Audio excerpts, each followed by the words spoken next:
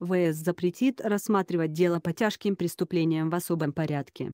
Пленум Верховного Суда России одобрил проект поправок в УПК, запрещающих рассматривать в особом порядке дело по обвинениям в тяжких преступлениях.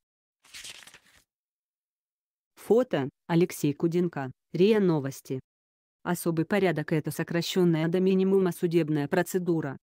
Считается, что вина человека полностью доказана и долго разбираться нет смысла, обвиняемому просто выносит приговор. Принципиальное условие для применения процедуры особого порядка рассмотрения уголовного дела добровольное согласие обвиняемого, пояснил РГ председатель правления Ассоциации юристов России Владимир Гуздев. Данный порядок применяется, когда вина человека не вызывает сомнений и даже он сам с этим не спорит. Особый порядок позволяет избежать формальностей там, где они не нужны, тем самым сэкономить время и финансовые ресурсы. Минус. Устроивших смертельное ДТП пьяных водителей приравняют к убийцам. За согласие на ускоренную процедуру человек получает смягчение в наказании. То есть ему не придется сидеть лишних несколько месяцев, а то и лет. Но нельзя забывать юридическую аксиому. Признание не является царицей доказательств. Следствие в любом случае должно собрать достаточную доказательную базу, подтверждающую виновность человека, подчеркивает Владимир Гуздев.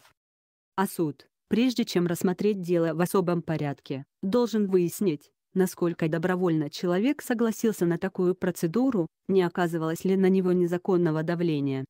При этом надо подчеркнуть, что данный порядок вводился законодателем для процессуальной экономии по делам, не представляющим серьезной общественной опасности. Что же касается тяжких преступлений, то здесь крайне важно обеспечить гарантии справедливого разбирательства, которое возможно только при несокращенной судебной процедуре.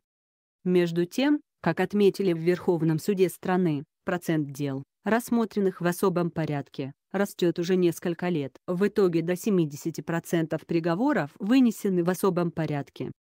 Из осужденных за тяжкие преступления дело каждого шестого было рассмотрено именно так. Всего в 2018 году в особом порядке было рассмотрено 560 тысяч уголовных дел. О проблемах особого порядка говорил в своем докладе в среду Совету Федерации генеральный прокурор Юрий Чайка. По его мнению, то, что более две трети дел рассматривается судом в особом порядке, без исследования доказательств, еще на досудебной стадии формирует отношение к ним, как к нетребующим значительных трудозатрат. Как считает генпрокурор, сохранение существующего удельного веса дел, рассматриваемых по упрощенным процедурам, грозит утратой накопленного десятилетиями уникального опыта интеллектуального состязания сторон обвинения и защиты, значительным снижением профессионализма работников. А главной ошибками при решении судеб людей. Минус. Когда суд не может вернуть исковое заявление. В конце прошлого года мы совместно с Верховным судом обсудили эти проблемы. Видим их решение в установлении законодателем ограничения на рассмотрение в особом порядке только дел о преступлениях небольшой и средней тяжести, подытожил глава надзорного ведомства. Проект Пленума Верховного Суда предлагает ограничить применение особого порядка судебного разбирательства уголовными делами о преступлениях небольшой и средней тяжести. К ним в соответствии со статьей 15 Уголовного кодекса относятся умышленные деяния, за совершение которых максимальное наказание не превышает 5 лет лишения свободы, а также все неосторожные деяния. Как отмечают эксперты, в случае принятия поправок суды не будут рассматривать по сокращенной процедуре, то есть без тщательного изучения всех материалов, дело по умышленным преступлениям, за которые предусмотрено наказание свыше 5 лет лишения свободы.